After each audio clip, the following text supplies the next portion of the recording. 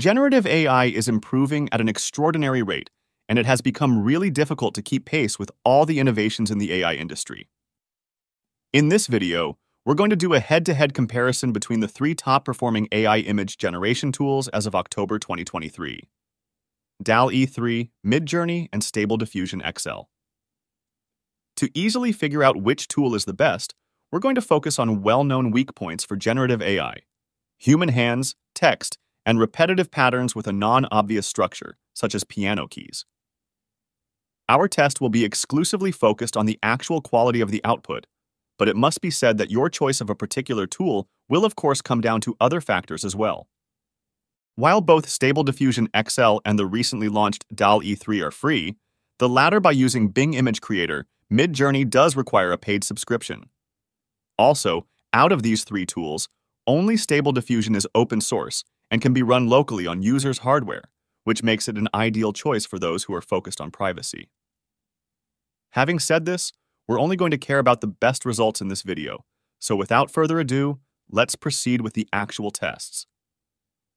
For the first test, we'll ask our generative AI assistants to create pictures of a group of software developers painting a mural. What we're actually interested in here is the ability of these tools to correctly depict the shape and even the correct number of fingers when creating human hands. Just recently launched, DALL-E 3 is currently available for free using the Microsoft Bing Image Creator tool. As was somewhat to be expected, DALL-E 3 produced a group of stereotypical hipster millennials in jeans, with brushes in their hands and smiles on their faces. The images look decent from afar, but when you zoom in, you can clearly see the errors and inconsistencies. Not only do the people depicted have deformed hands, but their faces are twisted into shapes better suited for low-budget horror movies. As if by knowing its limitation, Midjourney initially produced zoomed-out cartoon drawings, so we had to do a bit of prompting, but the final result, in line with what we had asked for, still suffered from the problem of distorted hands and faces.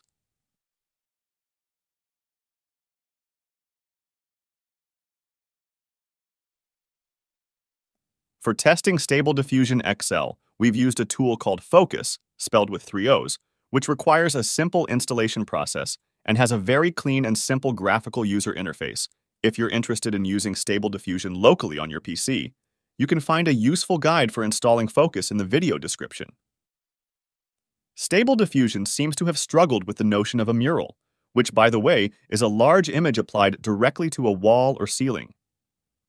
Only one of the generated pictures actually depicts people who are painting a wall, and these two men are seemingly holding hands and look less interested in art and more interested in one another. As expected by now, the hands and faces are not great. For the second test, let's see what we get when we ask for a cat astronaut playing the piano.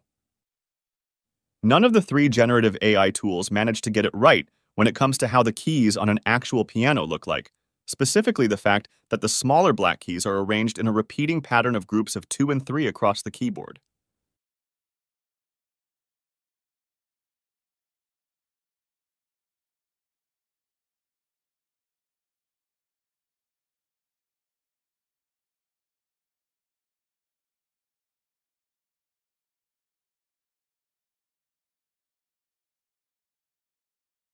However, Stable Diffusion performed the worst, leaving out the astronaut part almost entirely. In only one of the four generated pictures did the cat display some accessories that could be associated with traveling into space. In order to see how well these three AI tools perform with tasks that involve generating text, let's ask them to depict an underwater tea party and include a happy birthday banner. DALL-E 3 got the text right for just one of the three images it generated.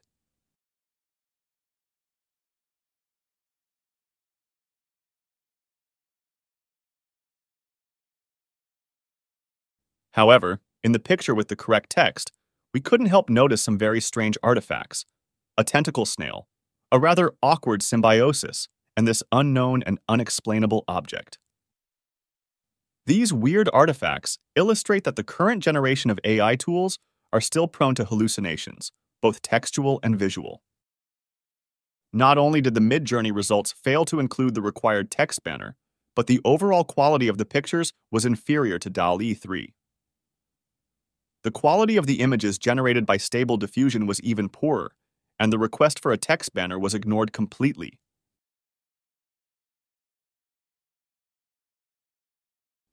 Based on the tests we've carried out so far, DALL-E 3 seems to be the winner. If you need to quickly generate an image without doing too much prompting, Bing Image Creator might be your best bet.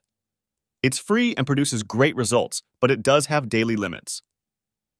And speaking of prompting, DALL-E 3 might just very well bring the end of prompts. We've used the Bing Image Creator in this video, but the DALL-E 3 model is also available under Bing Chat, where you can use subsequent commands to adjust the initial results.